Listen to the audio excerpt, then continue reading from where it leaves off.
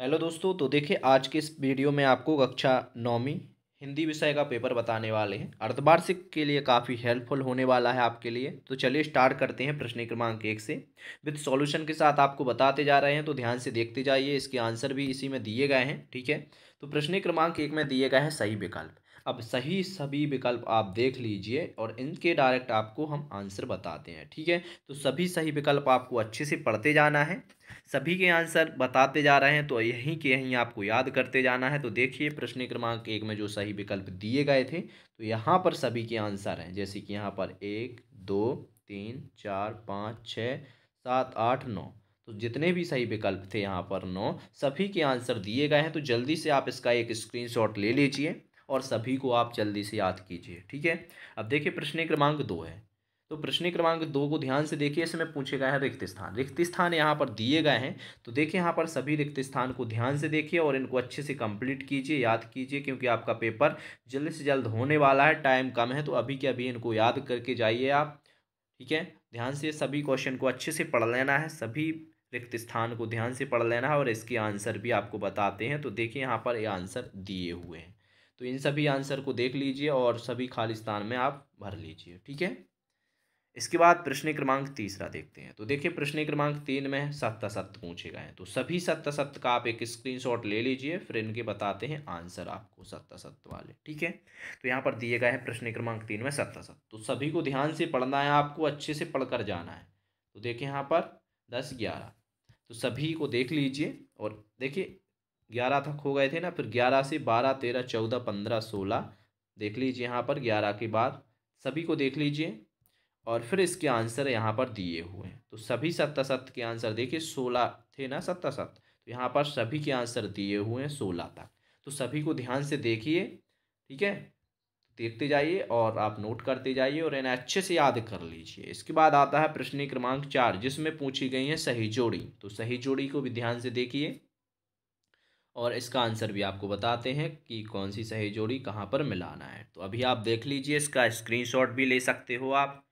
ठीक है? और यहाँ पर देखिए, ये सही जोड़ी थी ना तो इन सही जोड़ी को ध्यान से देख लीजिए। और इसके बाद में देखिए, यहाँ पर प्रश्न क्रमांक पाँच आता है तो प्रश्न क्रमांक पाँच में क्या करना है? आपको एक शब्द एक वाक्य में उत्तर लिखना है।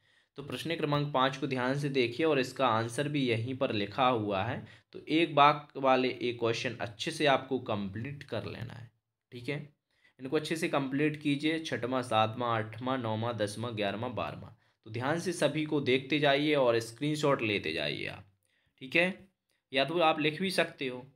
तो ध्यान से वीडियो को रोक रोक कर सभी को पढ़ते जाइए। सभी के आंसर आप देख पा रहे होंगे। स्क्रीन पर आपको दिख रहे होंगे। सभी के आंसर दिए हुए हैं। प्रश्न क्रमांक बारह, तेरह, चौदह, पंद्रह, सोलह। सभी के आंसर यहाँ पर दिए गए हैं। तो सभी के आंसर ध्यान से देखते जाइए, पढ़ते जाइए। इसके बाद यहाँ पर देखिए सोलवा। इसके बाद देखिए यहाँ पर प्रश्न क्रमांक छः है। निम्नलिखित प्रश्नों को तीस शब्दों में लिखना है तो देखिए, यहाँ पर क्वेश्चन के साथ साथ आंसर दिया हुआ है तो आप यहीं के यहीं पढ़ते जाइए। वीडियो को रोक रोक कर देखिए आप, ताकि कोई भी दिक्कत ना हो और आपको आंसर भी याद होता जाए तो प्रश्न क्रमांक छठवा का फ़र्स्ट सेकंड थर्ड देख लीजिए। इसके बाद यहाँ पर फोर्थ दिया हुआ है तो इसी प्रकार आपको अपने पेपर में सभी क्वेश्चन के आंसर लिखना है, जैसे यहाँ पर लिखे हुए हैं, ठीक है? तो ऐसा ही लिखना है आपको, तभी अच्छे मार्क्स मिलेंगे। तो सभी के आंसर भी देखते जाइए और क्वेश्चन भी देखते जाइए और अच्छे से सभी को याद भी कर लीजिए। ठीक है तो देखिए यहाँ पर बारहवें के बाद तेरहवा देख लीजिए, चौदहवा, पंद्रहवा, फिर इसके बाद में आता है सोलहवा, यहाँ पर दिया हुआ है सत्रहवा तो सभी के आंसर आप ध्यान से देखते जाइए। ठीक है, अब देखिए इसके बाद में अठारहवा दिया हुआ है। इस वीडियो में काफ़ी इंपॉर्टेंट क्वेश्चन रखे गए हैं इस पीडीएफ में तो ध्यान से सभी क्वेश्चन को अच्छे से पढ़कर जाना है। ठीक है? ताकि आपका पेपर अच्छा जाए, इसमें से जो भी क्वेश्चन आए, आप अच्छे से करके आओ। ठीक है? तो ध्यान से देखते जाइए। इसके बाद में देखिए बीसवा तक हो गया था इक्कीसवा देख लीजिए रिपोर्टार जिसे आप क्या समझते हैं। इसके बाद में देखिए इक्कीसवा देखिए, यहाँ से सभी दिए गए हैं, यहाँ पर देख सकते हो आप। देखिए, यहाँ पर दिया हुआ है। निम्नलिखित प्रश्नों के पचास से पचहत्तर शब्दों में आंसर देना है। चार अंक के क्वेश्चन हैं तो यहाँ पर चार अंक के क्वेश्चन स्टार्ट होते हैं तो ध्यान से देखते जाइए। सभी के आंसर भी साथ में दिए गए हैं तो आपको अच्छे से पढ़ते जाना है। सभी को वीडियो को रोक रोक कर थोड़ा देखते जाइए ध्यान से। ठीक है तो देखिए यहाँ पर कहानी उपन्यास में चार अंतर आपको अच्छे से पढ़ लेना है। एक अंक और नाटक में अंतर पढ़ लेना है, ध्यान से देखिए देख, दिए गए हैं। जीवनी और आत्मकथा में आपको अच्छे से अंतर पढ़ लेना है, दिए गए हैं। ठीक है, यही काफ़ी इंपॉर्टेंट क्वेश्चन है जो कि आपके पेपर में आने वाले हैं। तो ध्यान से सभी को देखते जाइए मुंशी प्रेमचंद या फिर हरिशंकर परसाई जी का यहाँ पर आपको साहित्यिक परिचय देना है। निम्न बिंदुओं के आधार पर यानी कि दो रचनाएँ बताना है भाषा शैली बताना है साहित्य में स्थान। तो मुंशी प्रेमचंद जी की यहाँ पर रचनाएँ भी दी गई हैं और यहाँ पर फिर आ, आगे भी भाषा शैली और साहित्य में स्थान दिया हुआ है। तो आप देख सकते हो और इसका स्क्रीनशॉट भी ले सकते हो। ठीक है? देखिए इसके बाद। तो ध्यान से भाषा शैली, साहित्य में स्थान लिखे के बाद प्रश्न क्रमांक सत्रह आता है। इसमें एक देखिए, यहाँ पर क्या गद्यांश दिया हुआ है तो संदर्भ प्रसंग व्याख्या लिखना है इसकी, ठीक है, सत्र में में। तो देखिए, प्रसंग यहाँ पर लिखा हुआ है, संदर्भ प्रसंग व्याख्या, ठीक है? तो इसे ध्यान से देखिए और इसे अच्छे से कंप्लीट कीजिए। इसके बाद देखिए, गद्यांश टू दिया हुआ है, प्रसंग की व्याख्या भी दी गई है। इसके बाद देखिए, एक एप्लीकेशन भी दी गई है। तो इस एप्लीकेशन को आपको अच्छे से कंप्लीट करना है। इसमें आपको अपने प्राचार्य महोदय को स्थानांतरण प्रमाण पत्र हेतु एक प्रार्थना पत्र, यानी कि एक एप्लीकेशन लिखना है तो इस प्रकार आप लिख सकते हो। तो इसे आप अच्छे से आपको पढ़ लेना है एक बार और एक बार लिख कर भी देख लेना है।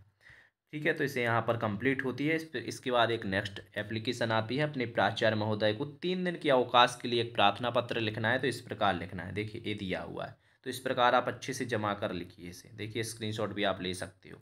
तो इसे एक बार आप इसे लिख कर देखिए, ठीक है? इसके बाद में यहाँ पर देखिए, शुल्क मुक्ति के लिए एक प्रार्थना पत्र लिखना है तो इस प्रकार आप शुल्क मुक्ति के लिए प्रार्थना पत्र लिख सकते हो। इसके बाद में यहाँ पर देखिए, जो क्वेश्चन शामिल किए गए हैं, इनको ध्यान से पढ़ लीजिए सभी को।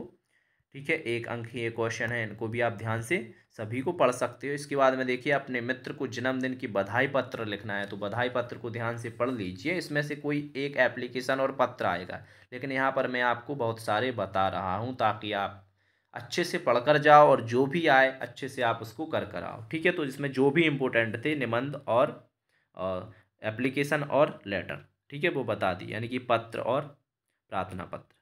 इसके बाद में देखिए यहाँ पर। वार्षिक परीक्षा की तैयारी के संबंध में पिताजी को पत्र दिया हुआ है। ठीक है, इसके बाद में निबंध लेखन दिया हुआ है। तो विज्ञान के चमत्कार आप अच्छे से करके जाइए, यही आने वाला है। और देखिए, विज्ञान के चमत्कार देख लीजिए यहाँ पर। ये दिया हुआ है विद्यार्थी जीवन में और यहाँ पर पर्यावरण प्रदूषण का भी आपको करके जाना है। ठीक है तो इन सभी को आपको अच्छे से पढ़कर जाना है। निबंध तो आप देखिए यहाँ पर दिया हुआ है जो विज्ञान के वरदान के रूप में, यानी कि वही कहलाता है। ठीक है, विज्ञान के चमत्कार। तो इसे आप ध्यान से करके जाइए और प्रदूषण वाला भी पर्यावरण प्रदूषण वाला भी कर सकते हो। और यहाँ पर देखिए, क्या आता है? रूपरेखा लिखने को आती है तो देखिए, रूपरेखा को आपको अच्छे से देखो, इस प्रकार लिखना है। जैसे कि यहाँ पर विद्यार्थी जीवन दिया हुआ है। इसके बाद में यहाँ पर समाचार पत्रों का महत्व, पर्यावरण प्रदूषण, पुस्तकालय का महत्व तो ये रूपरेखा आती है दो नंबर में तो इसे आप ध्यान से पढ़ लेना है सभी को। विज्ञान के चमत्कार और कोविड नाइन्टीन वाला आपने मंद देख लेना है आपको। ठीक है तो इस वीडियो में जो भी क्वेश्चन बताए गए हैं, आपको अच्छे से पढ़कर जाना है और वीडियो को ज़्यादा से ज़्यादा शेयर कीजिए और इस पी को डाउनलोड करने के लिए आप डिस्क्रिप्शन में लिंक दी गई है टेलीग्राम को ज्वाइन कर सकते हैं। Thank you